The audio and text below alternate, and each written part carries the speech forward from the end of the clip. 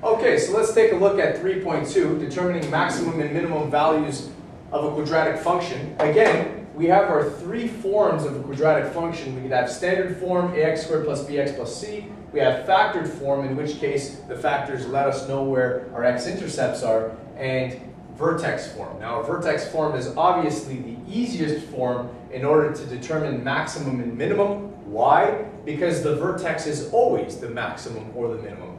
So when it's asking us for maximum or minimum, we're always looking for the vertex. So if I take a look at example one, now you can read all this, uh, all this over, but obviously we're going to do all three versions of this. So it says first, determine the maximum or the minimum value of each function. So the first one's very easy because the first one is in vertex form. And these are the same three examples that we used yesterday but we're just going to reiterate what we did. The vertex of this thing, right away, we know is 4, 180. And we can come up with a quick picture of what this looks like, because if 4, 180 is where the vertex is, 4, 180, and it opens down, does this, and it opens down. Okay? So is there a maximum or a minimum here? There definitely is a maximum. No minimum because it goes forever downward. But there is a max of 180. And it happens at x equals 4. That is the max. So this one is the easiest out of all three because it's already giving this in vertex form. Obviously, if it's in vertex form, that is the easiest because, again, max and min are your vertex.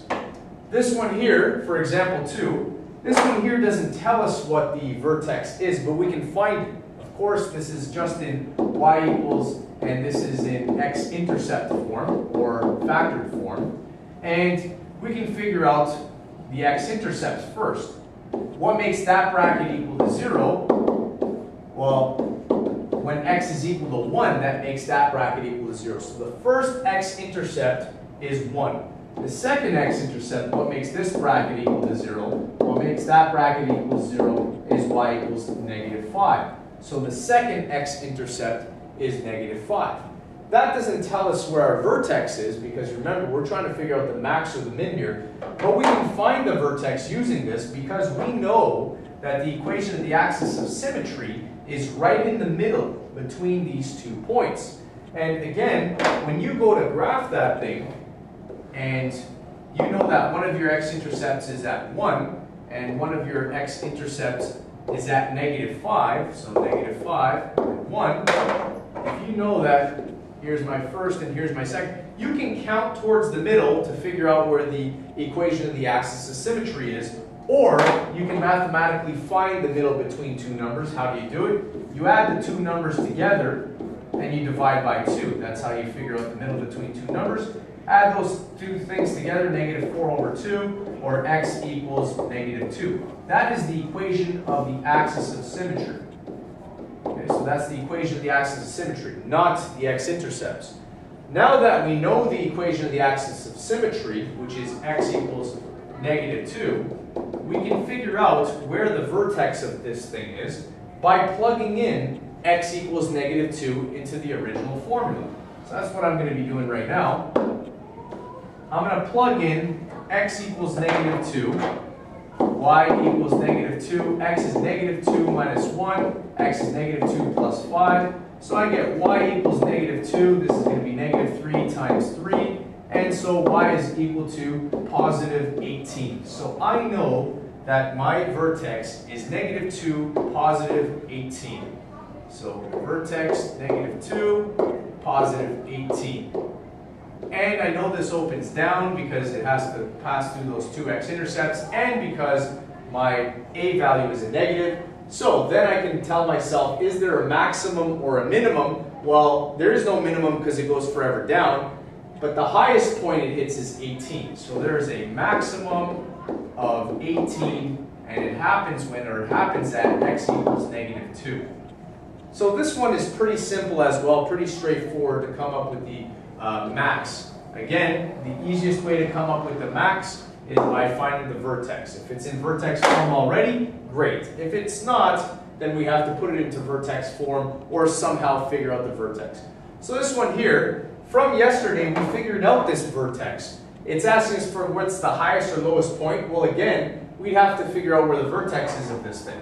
Now, the easiest way to come up with the vertex of this thing is by uh, figuring out um, the equation of the axis of symmetry and then plugging it in there and figuring out where the vertex is. So that's what I'm going to do. Remember, our little trick, the equation of the axis of symmetry, so the equation of the axis, if it is in standard form, is x equals negative b all over 2a. In this case, it's going to be x equals negative. My b is negative 24 all over 2 times a, which is 4. So this is going to be x equals positive 24 over 8. And so this is going to be x equals 3. So x equals 3 is my equation of the axis of symmetry. That means the vertex lies on here, so I can figure out the height of the vertex by plugging it into this formula. If I figure out the height when x is 3, I'm going to get 4 times 3 squared minus 24 times 3 plus 3. So f of 3 is going to be equal to 4 times 9, and this is going to be negative 24 times 3, which is negative 72, plus 3. So f of 3 is going to be equal to 36 minus 72 plus 3. So f of 3 is going to be equal to negative 36 plus 3 is negative 33. So the vertex of this thing, you know, is 3, negative 33. And if I come up with a quick picture to myself and say, here's 3 and here's negative 33, just quick little picture, and this is where the vertex is. It opens up because my vertex is positive, so it definitely opens up. So it does something like that. So therefore, is there a maximum height? No, it goes forever up. But the lowest height is negative 33. So there is a minimum of negative 33, and it happens when, or happens at x equals 3. And of course, there are other ways of figuring out uh, the maximum or midpoint or the vertex of this thing, but you would have to complete the square instead. So as just a heads up for completing the square, if I was to do this problem and put it into vertex form, I would take this and I would complete the square. So what? how do you complete the square again? Step number one, group the first two terms. Step number two, factor out just the number that's in front of the x squared. So this is going to stay the same. I'm going to factor out a 4. That divided by 4 is x squared. That divided by 4 is negative 6x Step three is complete the square of what's inside. So completing the square, this is going to be 4 times x squared minus 6x. Leave some space here. And how do you complete the square again? You add and subtract the same number.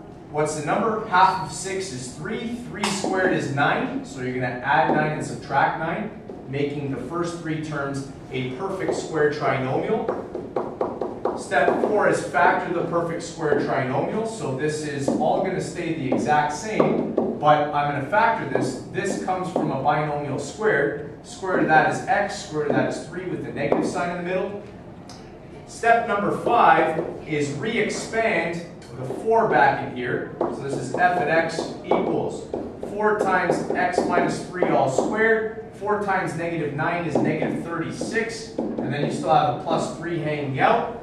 And the last line is going to be adding those things at the end. f of x equals 4, x minus 3 all squared minus 33. As you can see, this is in vertex form, and the vertex of this thing is 3, negative 33, which is exactly what we got. And if you come up with a quick drawing for yourself here, 3, negative 33, you'll have the vertex down here, and it opens up because the 4 is positive, so you're going to get the same answer. It goes forever up, but the minimum is negative, you have a minimum of negative 33, and it happens when, or happens at x equals 3.